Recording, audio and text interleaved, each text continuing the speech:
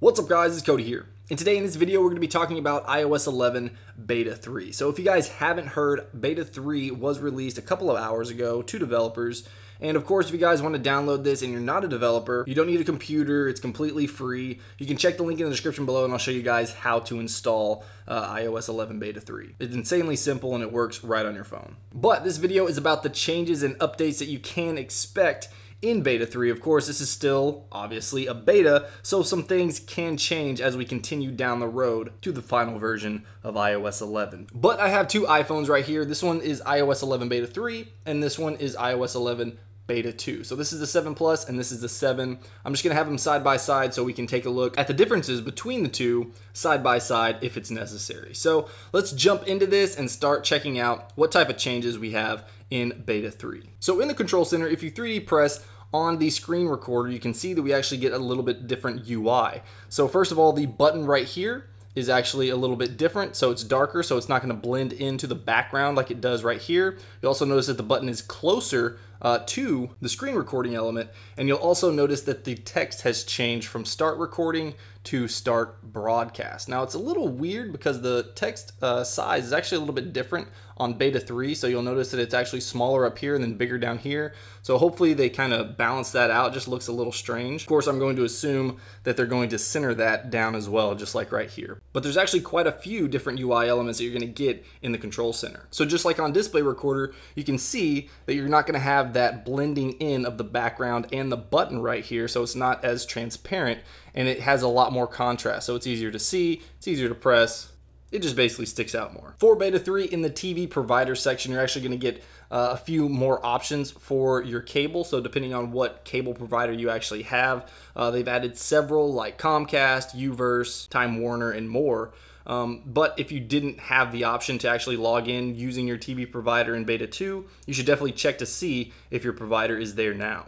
Now see here in the weather app, you actually get bigger icons uh, for the sunny, the raining, the thunderstorms, the moon, the sun, all that stuff. Everything is just a little bit bigger and it actually looks a little bit nicer with those bigger elements. Now there was a bug in beta 2 where you basically had this issue in the app switcher which it would hang, it would freeze, but you really don't have that issue anymore uh, with beta 3. So you can see it's not hanging, it's not freezing, anything like that. We'll hop back out, and it's back to normal. So that's a nice bug fix because that was driving me crazy.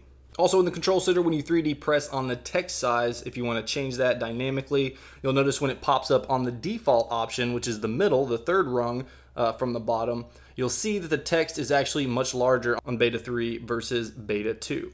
So right here in iMessage, if you swipe all the way to the left, uh, where all your stickers are, you'll see this ellipses. So if you tap on this, then you'll see we actually have some more options here uh, than on beta 2 in the edit menu. Now, uh, all these applications right down here are all based on what applications you have installed on your device. So that's not what I'm talking about here. I just have a whole lot more apps installed on this phone than I do on this one. So what I'm talking about is the edit function. So if we tap on the edit, you'll notice that we have our favorites up at the top. This is not something that you get in beta 2. So you can add your stickers right here to your favorites and then you can drag these right here to rearrange them. Now, Unfortunately, anytime you make any changes in this actual pane, it actually crashes the application. So you'll see right here, if I just add one, it just crashes. So it doesn't work right now, but it is something that's coming. Hopefully uh, we'll be able to actually, you know, tinker with it in beta 4.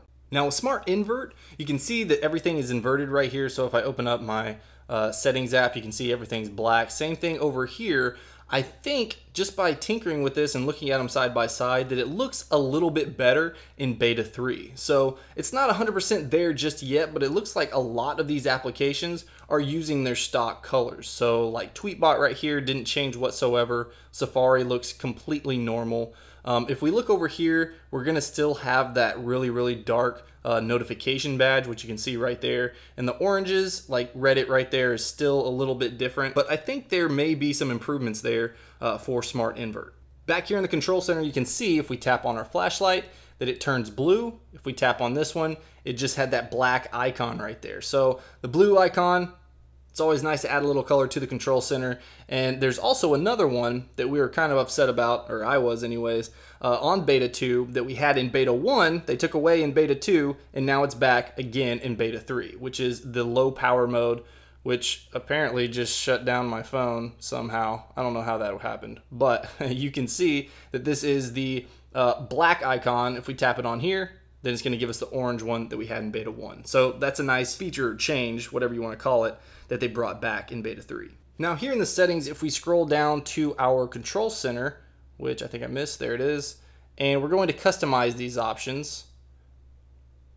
So this is where you basically add in uh, all the toggles that you want in your control center. You'll notice that we've actually had some changes uh, to the icons right here based on what they're going to look like when you turn them on. So like I showed you before, the flashlight has changed to blue because it turns to blue when it's turned on. Same thing for low power mode. We have a green icon over here and right here we have an orange one. So the icons in the customized screen basically just correlate back to what those toggles look like once they're turned on. Now another change you're going to see in the control center that you'll probably see on all your 3D presses uh, for these toggles are little icons, or in the wallet's case, bullet points next to the option that you have right here. So for add card, if you, I actually didn't have a card added right here, there would be a little plus sign. So basically in beta 3, they've added these icons right here to all the listed options for the 3D press menus. Here on the Apple TV remote, the menu is actually smaller than it was in the previous beta 2. So beta 3, the entire controller is smaller than it is on beta 2.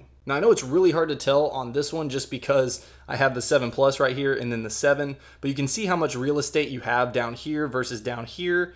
And I have seen side by side the same device on different versions and it, the uh, controller is in fact actually a little bit smaller. So you'll just have to take my word for it if you don't believe me right here, just because the comparison is not that great since we're on different devices.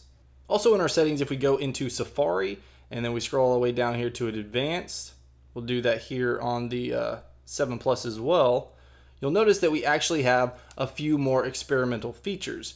So not only have some of the options changed, but there's also additional or more uh, experimental WebKit features on beta 3 that you can toggle on. So the next change we have is to the notification center. So you'll notice if I swipe down on beta 2, you have to swipe up for earlier notifications from today. But if you do it over here in beta 3, you actually get a different look, which you can see is changed to earlier today right here in your notification center without having to swipe up. So it's just one less thing to do in order to get to your earlier notifications. The next thing you'll notice in the notification center is that it changed from recent to earlier today.